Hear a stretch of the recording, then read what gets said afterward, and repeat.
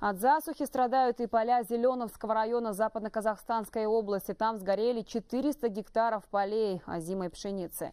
Посевы принадлежали хозяйству агросервис «Батыс». Причина возгорания пока неизвестна, но уже есть предположение, что горела сухая трава вдоль трассы. Пожар потушили силами крестьянских хозяйств округа. Как выяснилось, глава хозяйства компенсации за ущерб не получит, поскольку на полях не были соблюдены противопожарные мероприятия предположительное возгорание произошло от проезжающей машины. Огонь перебросил, ну, горел сухостой вдоль дороги, огонь перебросился на посевы. Ущерб э, по оперативной информации где-то составляет тысячу, тысячу тонн зерна.